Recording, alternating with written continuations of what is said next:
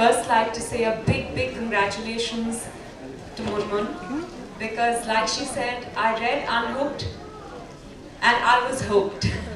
Only because, you know, um, as a girl, I think one has been through at least one of those many experiences that uh, the characters go through, especially uh, the protagonist herself.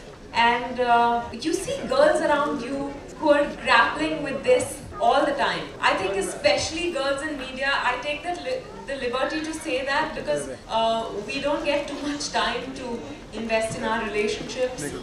And the little that we get, you know, we're trying to make the most of it and then therefore there's no patience, we're running out of patience. It's difficult.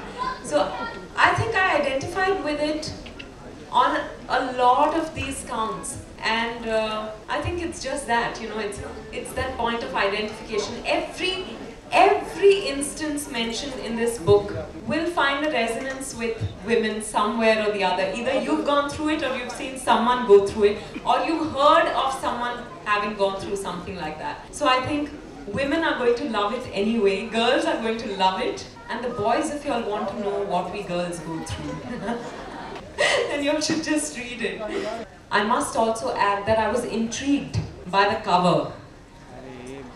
I therefore thought that it probably had that that little some other quotient, you know, the sex quotient that we look for a lot of times in bestsellers. I thought the cover really hinted at that. So I said, oh, let's see what this is about. But I turned to the I turned inside and I saw Munmun's picture.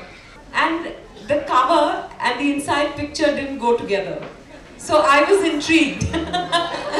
so I said, okay, let me read it. And I'm so happy I read it. I'm so happy I'm here.